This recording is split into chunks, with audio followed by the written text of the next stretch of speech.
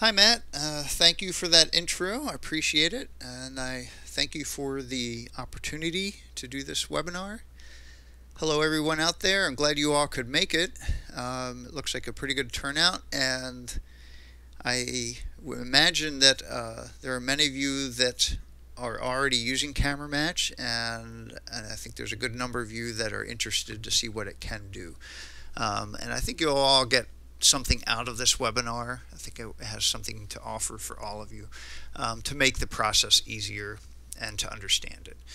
So first I'd like to just go over very quickly uh, what Camera Match is and how it works.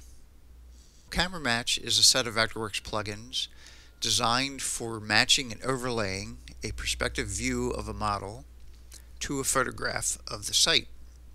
Um, it also comes with a bunch of tools uh, to help blend the photo with the model and those tools include masking, cloning, and shadows. Um, so just to give you a quick idea of what's going on, um, we have here an existing photo of the site and now we have here a camera match object containing that photo and in that camera match object we see some controls. Um, there are three pairs of these control lines and uh, each pair points towards a different vanishing point. Um, so here we have the two red control lines. They're drawn along horizontals in the photograph um, and these horizontals point towards uh, the right vanishing point. Uh, the two green lines are drawn along horizontals that point towards the left vanishing point and then the two blue lines are pointing towards the vertical vanishing point, um, which in uh, which could be up or down with the vertical ones. So in this case, they're pointing very far above the photo. Um, then there's a uh, target control, and that's just to point to a location to place the model within the photograph, and a dimension is given to one of the control lines and that gives the photo some scale. Okay, so once those control lines are set up, you can set and tune and render the view and you could get something like this. Um, now you'll see some of the elements in the photo are obscured by the rendering, uh, by the model. So uh, Camera Match gives you some masking tools to bring uh, these power lines and this telephone pole forward like that as you can see now. Um, also in this image um, the user had some trees in the model um, and they're not casting shadows on the ground because the ground is the photograph. So I'm going to go to the new photo and this one shows uh, some shadow objects that were added and that just helps blend that in again uh, with the photo. Okay, so uh, let's get started.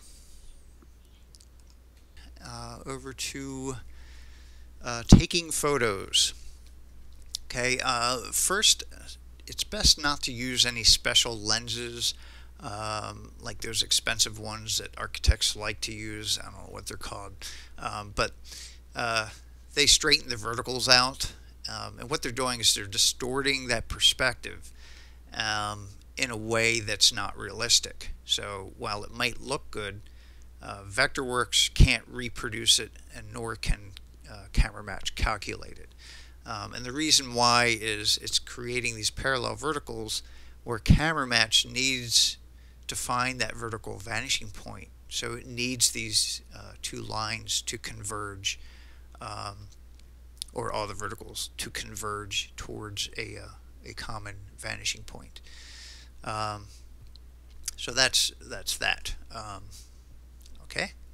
Um, the point of view is also critical, um, and it, camera match is pretty good with different views.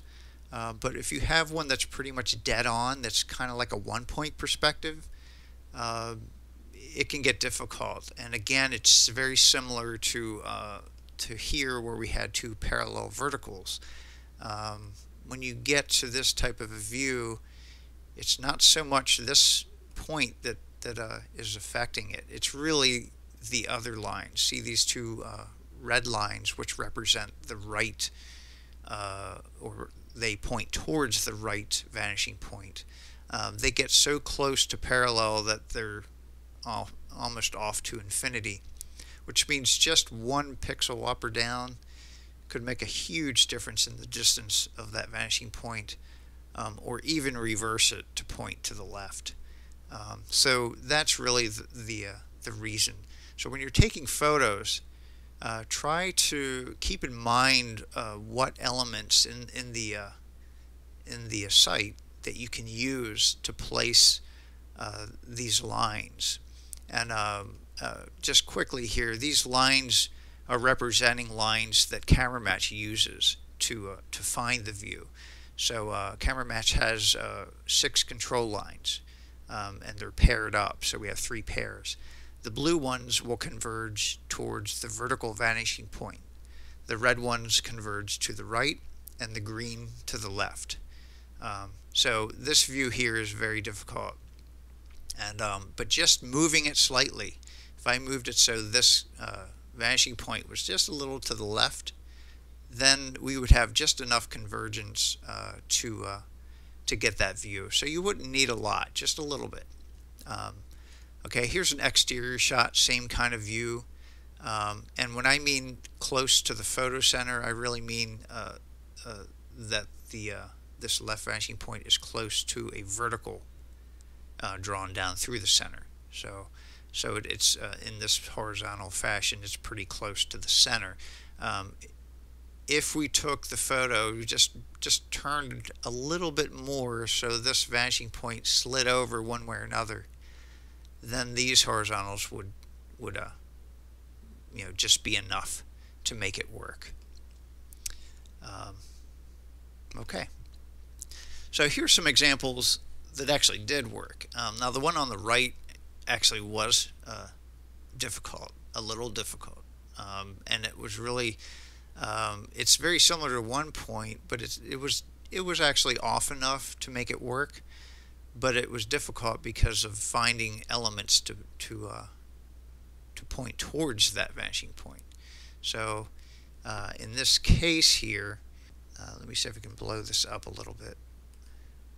So what we use in this case um, is this eave here, uh, just this short piece of eave, and then uh, actually used a neighboring building uh, that happened to be parallel.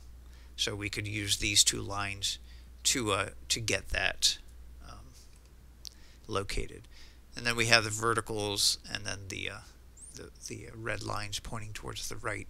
And they just happen to be enough to where it still worked fine. Um, and there are ways to make things work uh, for you, um, like I'll try to show you at the end here. Okay, so let's go back. Um, so when you take pictures of the site, uh, being the digital film is as cheap as it is, take a lot of photos. Take them from just slightly different angles, from views that you really would like to use just get a little bit of variation in there. So if one is not working for you, then you have another one to fall back on.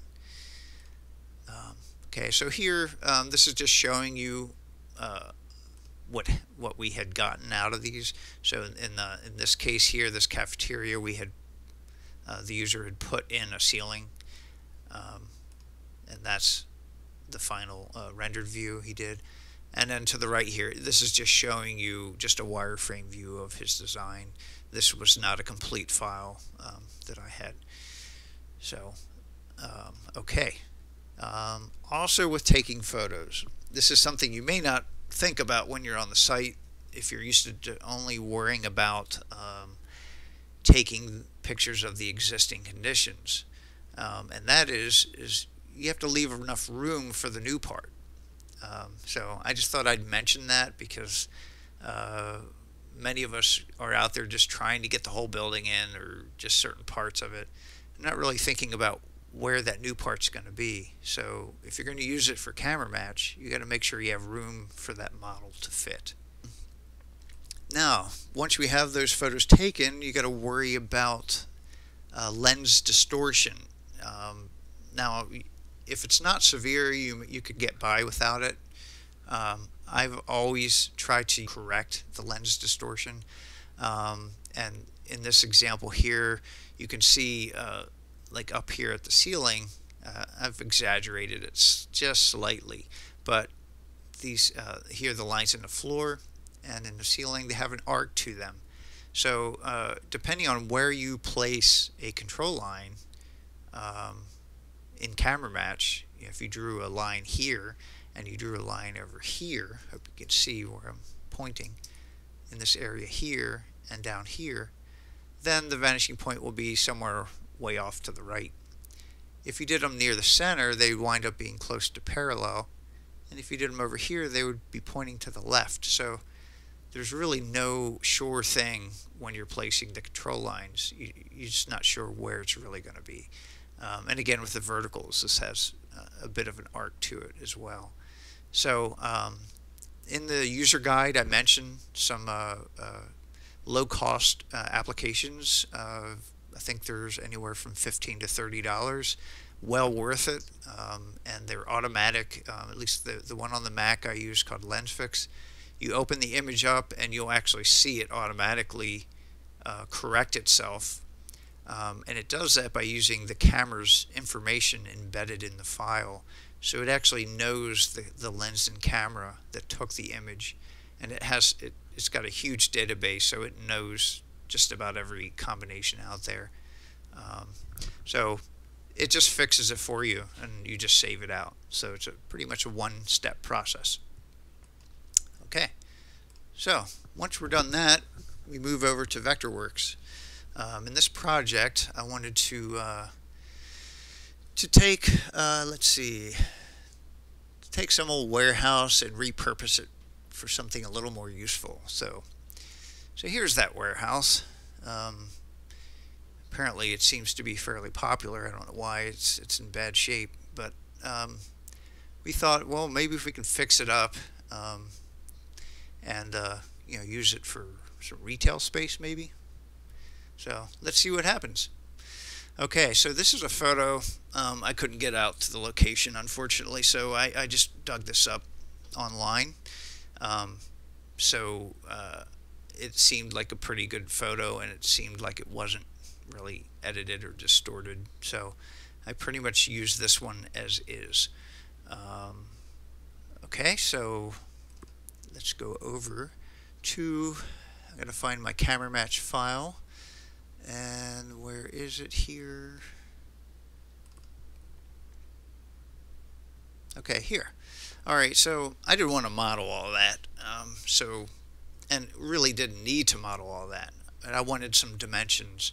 That's all I really needed was some dimensions of any element that I could use just for alignment purposes. Because I'm not going to show any of this model in my rendering because it's all existing. Um, so, uh, but instead of trying to research and figure all that out, well, I found this model uh, on, I think, 3D Warehouse and as a SketchUp model. I imported it, I simplified it. I really could have just deleted all these columns, but I simplified them. They were symbols. Um, so they were easy enough. Um, but realistically, I could have just deleted them and, uh, and gone from there. Um, I'd like to try to keep the, the model as simple as possible uh, for the existing uh, to, to align to, to the photo. Um, and that's just for reasons of speed. When you're tuning uh, the view, you don't want to have to wait uh, for the the render to update every time. So, so here's my model. I just put this in a design layer um, in, in uh, Vectorworks. And then I've got a couple layers for some new stuff. So, okay. Let's see, what else am I supposed to talk about? Oh, inserting a reference object. So let's go ahead and insert uh, this. Now, reference object, actually, I'm going to go in and uh, choose to place one. And it's going to ask me to name it. I'm just going to keep the default. And I'm going to put it here on this corner. I need some snaps on for that. Okay, I'm going to snap it to there and rotate it to there. Okay. So this is actually going to pinpoint a, a point on the model that I can also locate on the photograph. And that'll uh, tell camera match where to position the model. And it also, um, you you saw me rotate it onto here. It also defines the rotation of the model and even the angle of this corner. Um, and the height, um, so that's part of the location. So the height is critical. I'm going to put it right at the top of that. Um, and I can go to plan view, you see it that way. Um, now if you had a corner that wasn't 90 degrees, you can move this um, to whatever that angle happens to be, and that will still become your right uh, vanishing point in that case. I'm going to undo that. And that's all we need to do for the reference object. Let's move up to a sheet layer. And this sheet layer has nothing but a viewport uh, with that one uh, existing layer on it. Okay, and it's not really set in, it's in a plan view, I guess, a top plan view. Okay, so what we need to do now is to insert a camera match object. And uh, this object really drives the whole camera match process. Um, I'm going to go in, oh, I just double clicked on the uh, viewport to bring me into the annotations.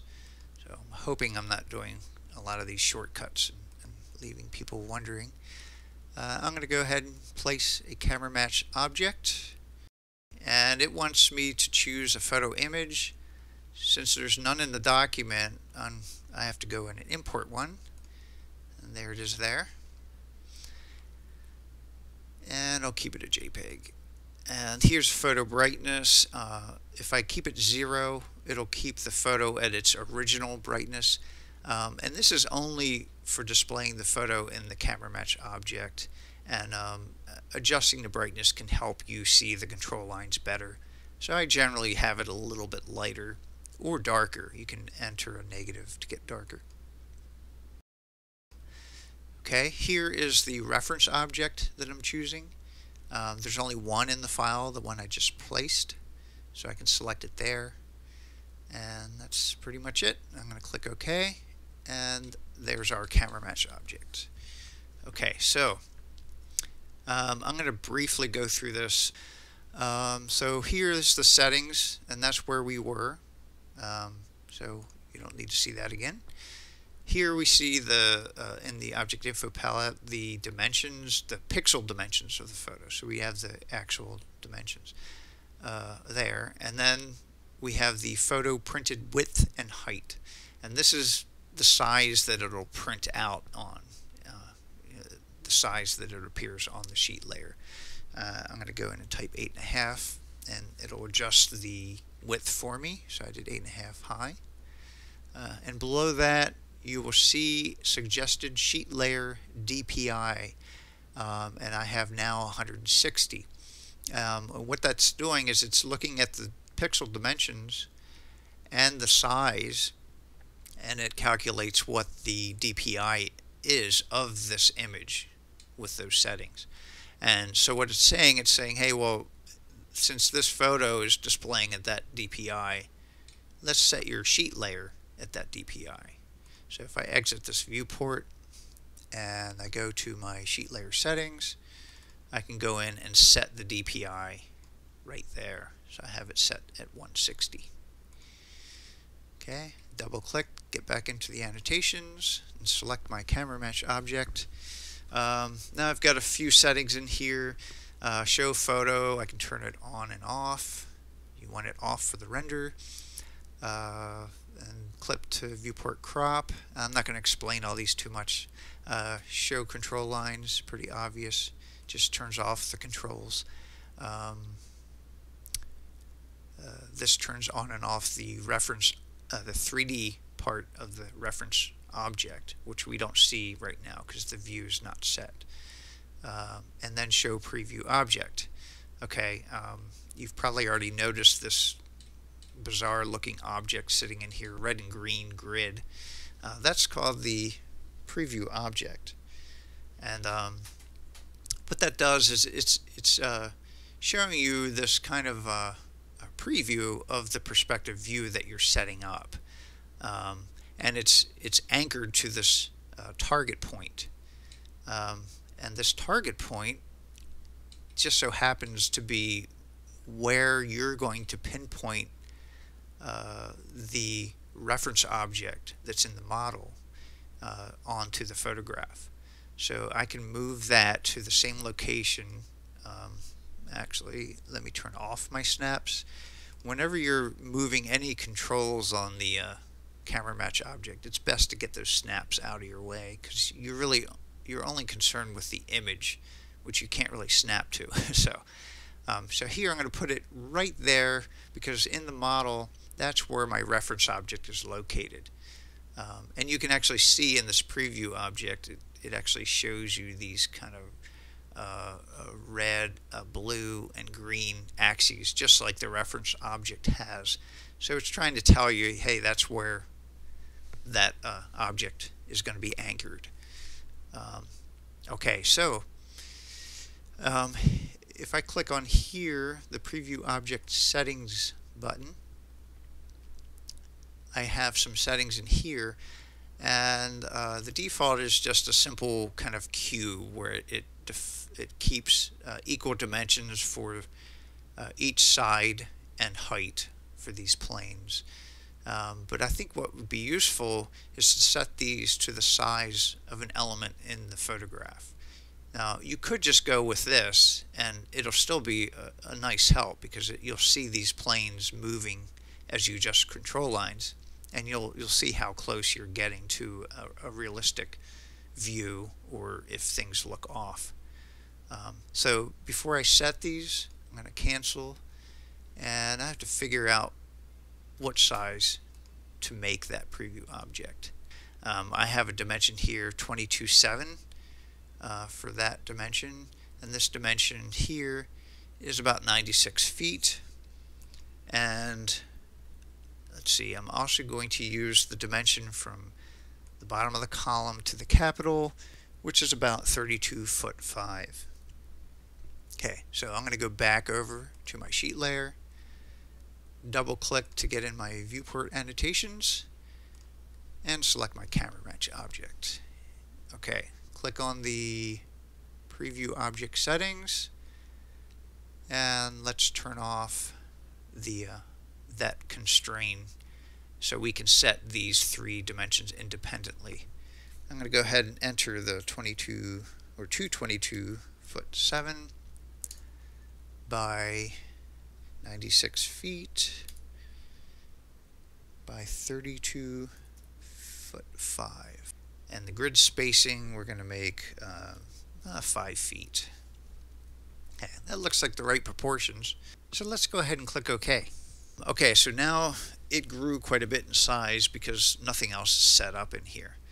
Um, so let's start positioning these control lines. We, we've seen these colored lines in the photos that I have had drawn and now we see these same uh, three pairs here. So let's go ahead and start locating these. And I'm just going to try to get them just in a rough position first and uh, and then I can zoom in and find adjust them at that point. And uh, actually what I'm going to do before I get too far is I'm going to set one of these uh, control lines as my measured line. I'm zooming in here because I want to try to get this one fairly accurate. And um, this measured line, it's going to tell camera match the uh, the dimension of the element that's in the photo that I've drawn this on. So I want to draw this one the complete length of that. So now that I have this drawn there, I'm going to choose on the Object Info palette R1 as the measured line and I'm going to give it the same dimension that was in the model of 96 feet. Okay, see, so now you'll notice that red plane is already it's already adjusted itself. It's showing you how this view is shaping up already. Um, and it's so so we can be a little more confident that uh, we're doing this correctly. And uh, so let's keep putting these down. Okay, the green ones need to be set up. And as you move things around, things might get a little bit funny looking um, when you have some awkward view situation like that, where it's kind of upside down. It's just looking at those uh, vanishing point locations and making its best uh, guess at it. Okay, so um, so actually at some points you may even want to temporarily turn off that preview object um, which you can do through this checkbox in the info palette right here. Turn it back on. So it looks like it's coming in fairly well, but I just roughly place these and actually right now it is kind of in my way. I'm going to turn it off and just see how well I've placed some of these. And that's actually pretty good. I'll put it down a little bit. Um,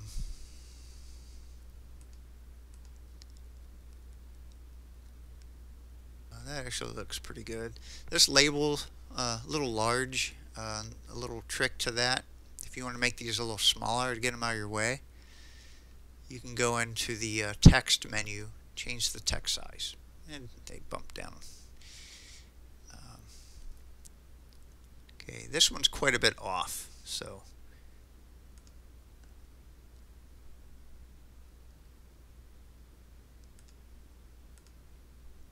Okay.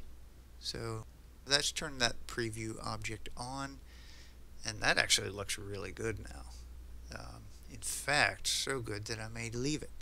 But uh, there's a lot of cases where it's shaping up, but it's still not quite there.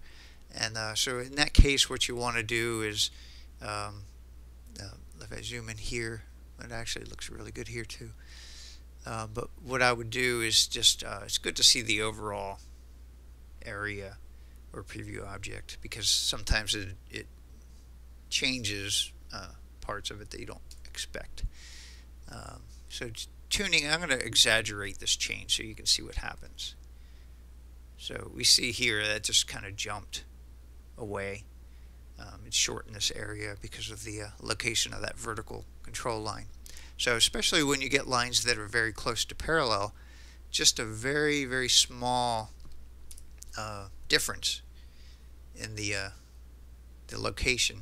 Now I'm, I'm using the snap loupe to help me kind of make a, adjustments here.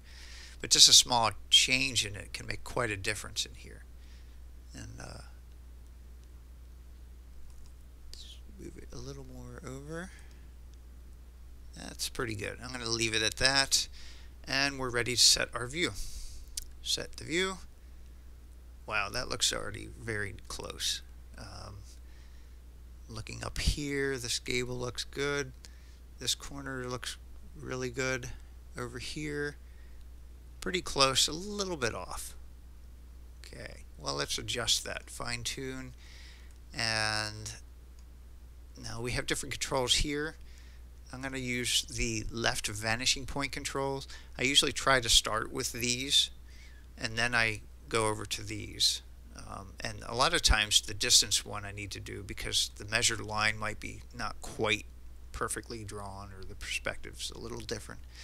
Um, so here I'm, I'm moving to the left, the vanishing point, uh, the left vanishing point, I'm moving further left. So you can see everything kind of move as I do that. So once I got how I like it, I just let go and I save that. Now I'm going to look at the whole picture and make sure nothing else kind of shifted around. That looks pretty good. Um, now let's see. I'm going to go ahead and show you some of the other tuning controls while I'm here. Um, and I'll just exaggerate them. Here's the vertical. See how the, the top shrinks down and expands as I move it so you can adjust it's moving that in and out. Uh, the right also. You see here I move it further away. You see how everything adjusts to accommodate that. And again for the left, you already saw that. Um, we can adjust the camera tilt. Um, notice while I'm doing all this, that the point where the reference object is stays pinned down at that target location right here. Um, adjust the camera tilt. Um, and then you can uh, adjust the vertical rotation here. Um, I'm going to cancel this real quick and change this to hidden line. And then you'll see this um, now it'll render in hidden line. This shows you a little bit more clear what's going on. So here it's slower because it has to generate these hidden line rendering. But you can see here how it's rotating that around. Um, and here it's it's rotating vertically so using a different combination of these will get you where you need to go pretty quickly. And then this is the distance. So this one's common for you to maybe need to zoom in a little bit or, or out a little bit. Um, in my case, it looks pretty good. So we have that alignment. We're happy with it. Um, then let's continue on.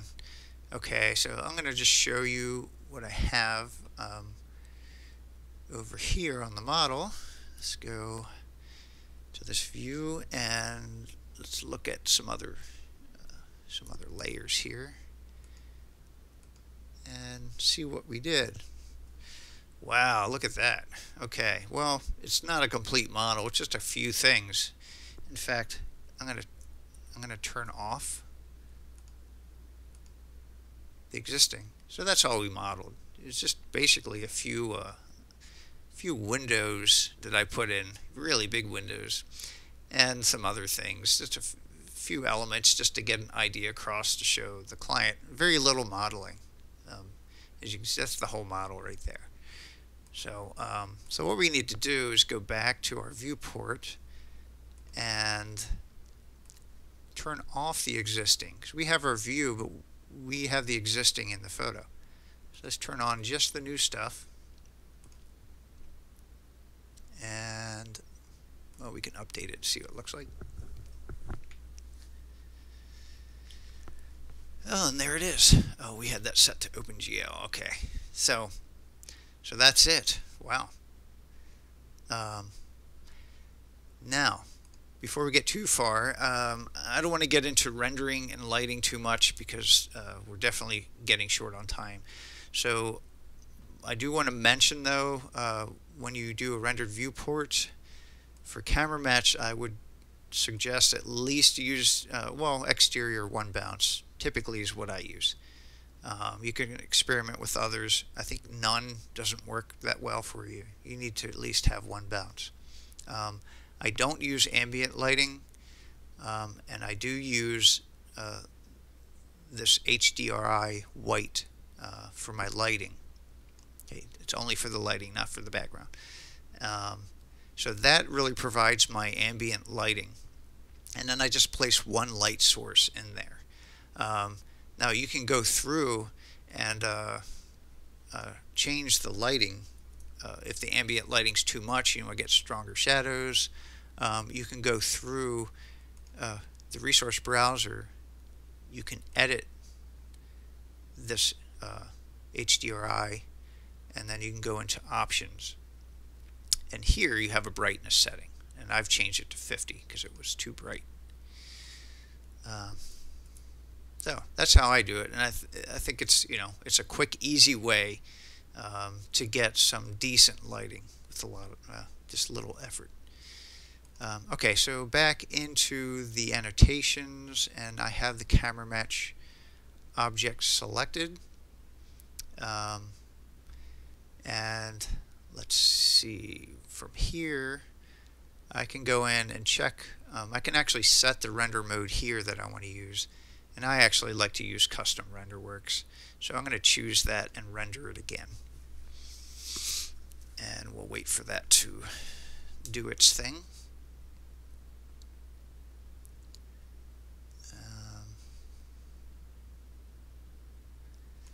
okay so there's our render uh, looks pretty good and what we have here is well there's a lot of stuff covered up that's existing and we need it to show and um, I'm not going to do a, this has a lot of masking that needs to be done in this project. Um, so I don't want to get too involved in it, but uh, let's see. Okay, first let's start up here.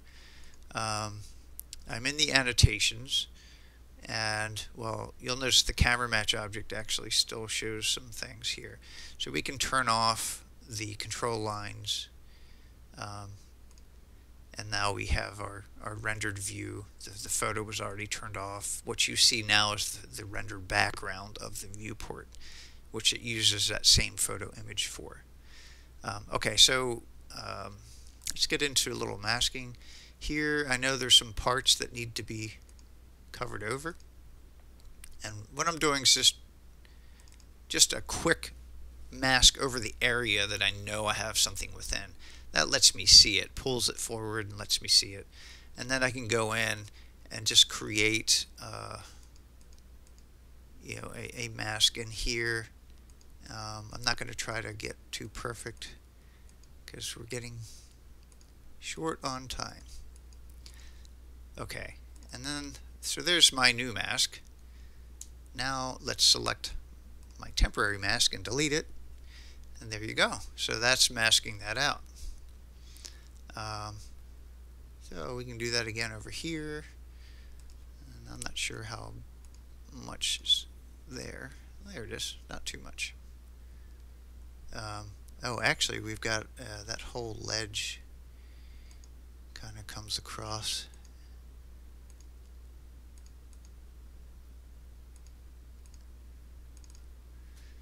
Something like that. And then we'll delete that temporary mask. And, well, that doesn't look too bad. Well, there's a little bit that shouldn't be showing there, huh? Um, so, well, we can even do this. We can just draw a polygon in there. And select the mask and that polygon and clip surface. And then we'll delete our temporary polygon. And now we can see our rendered model through there because it was showing sky through there. We don't want to see the sky. Um, okay. Now, we've got quite a bit here, so I'm going to just touch on how to go about it. Just mask out this whole area. I modeled this person in there as an image prop. I don't want to mask over her because she'll disappear. So I'm going to just kind of go over this area, uh, over to here. Okay, so there's, now we just see the existing part. So we want to go back. Um, in this case, what we can do, um, and when I'm working on this, I'm going to just cut some holes like I just did up here by drawing polygons and subtracting them. To make it a, a faster process, I'm going to turn off the anti-aliasing. Um, and then I'll just draw some simple polygons in here. Like that. And then select both objects. And use the key command to subtract. And there it is. Delete it. And we'll do it again. And just these are just simple polygons. Um,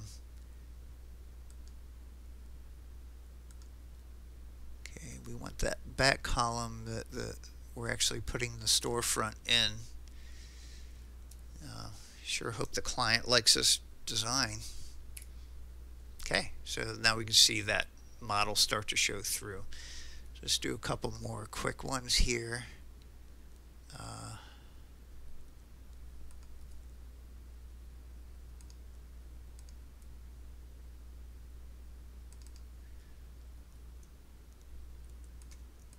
Okay, select them both, clip surface, and delete.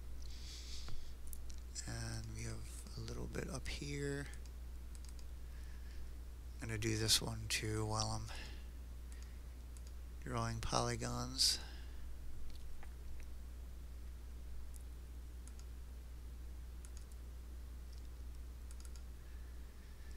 Okay, actually, I think I can select all three and then clip surface, and then I'll delete those two polygons. I didn't draw them real accurate, but that's okay.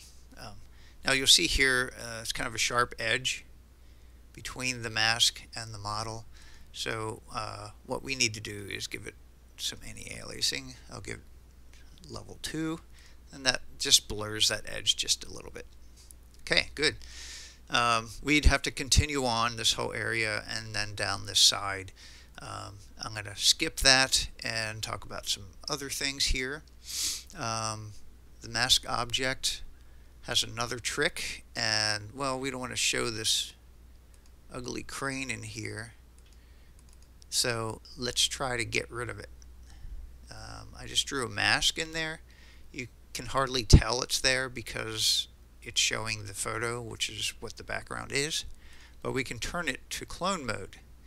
And when you do, you can use your selection tool and see a grip and actually move. Uh, you're going to displace the image within the mask.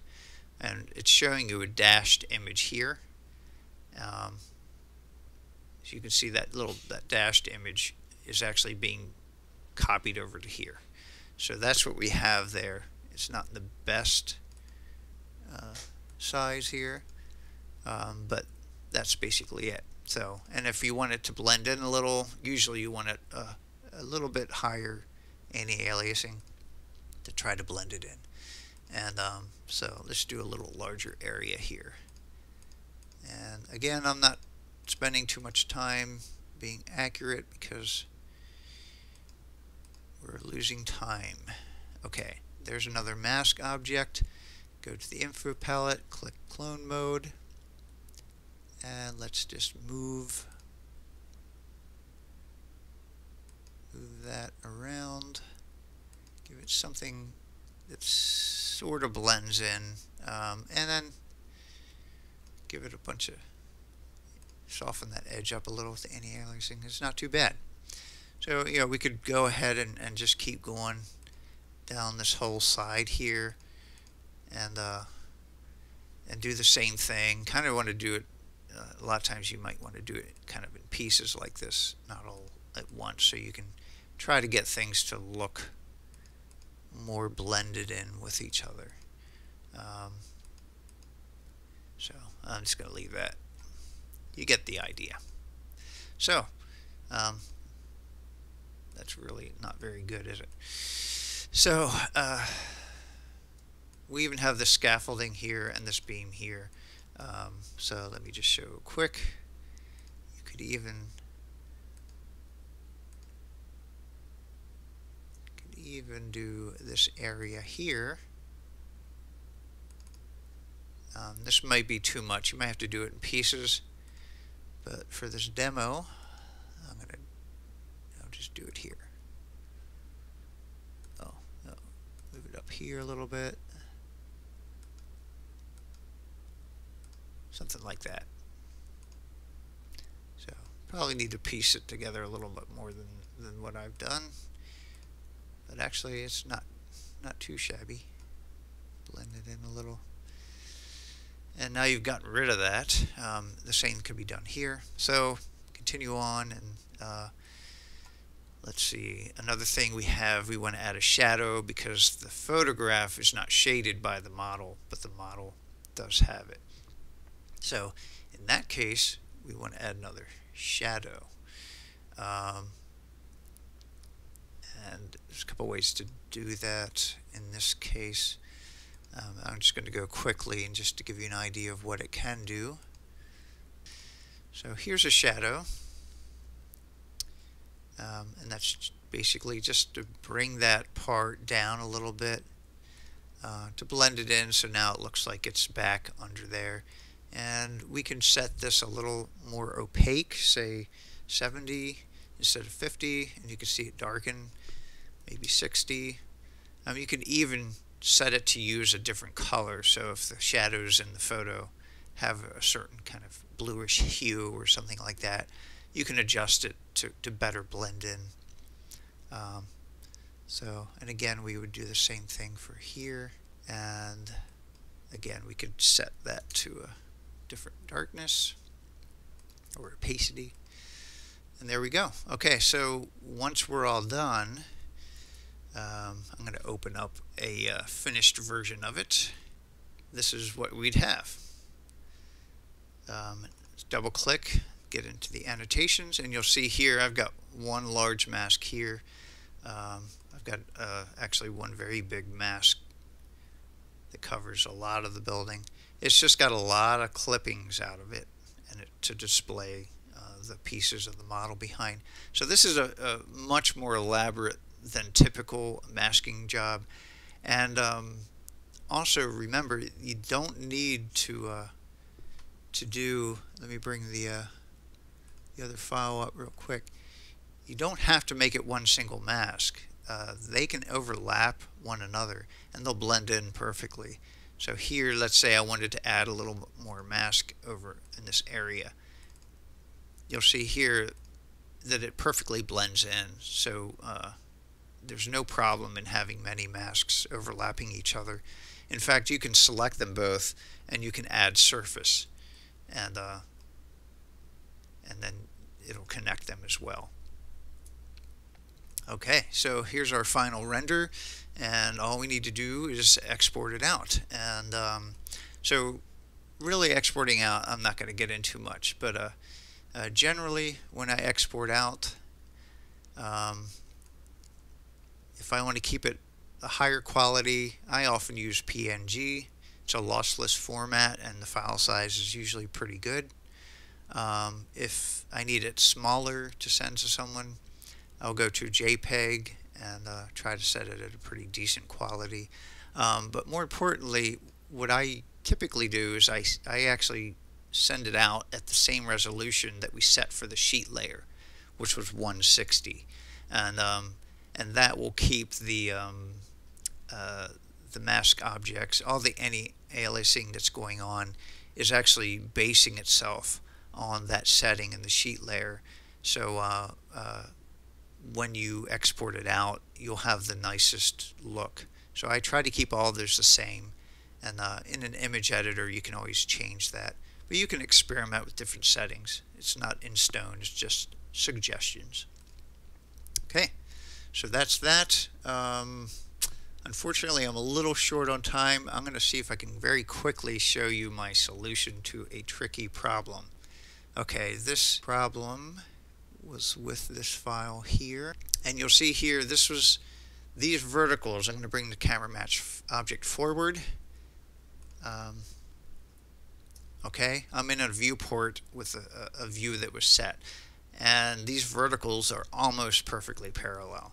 So when the view was set, we get this really flattened out. This thing is supposed to be curving around like the image shows, but it's just kind of stretched way out. So uh, if you look at the preview object, it's also very bizarrely shaped. So that's that's the nice thing about the preview object is it shows you that, um, and it, it gives you a hint of whether this is right or not. So I'm going to bring the CameraMatch object forward, and I have this set to 10 foot 8, which is what our measured line is, and it's just showing as a cube. Um, so here, since these are so far to parallel, so close to parallel, um, what seems to fix this the best is to just slightly move them inward, just a little bit. I'm going to go over here and do the same, and, and as you do it, watch the preview object until it seems to line up. See, I only moved them just a few pixels each while I, when I was zoomed in and it's getting pretty close maybe a little bit more uh, maybe a little bit more on this side basically trying to do it even on both sides just so the location in the horizontal is, is similar. And now it looks like it's very close. So I'm going to go ahead and set the view to match and you'll see here it's already snapped in. So um, now this is probably more for experienced users. I've gone over it very quickly, but I just wanted to show you that there there are solutions in tricky situations where you just bring that uh, these lines a little less parallel can get you somewhere, and then the the tuning can actually help uh, you know bring it to where you really need it. So even in the awkward situations, usually you can find a way to get that view. Okay, well, um, that's it. I've kind of gone over my time. I hope I didn't uh, drag anything on too long or cover uh, anything too fast. Um, so um, I'll hand it back to Matt. Um, I'm not sure where we go from here.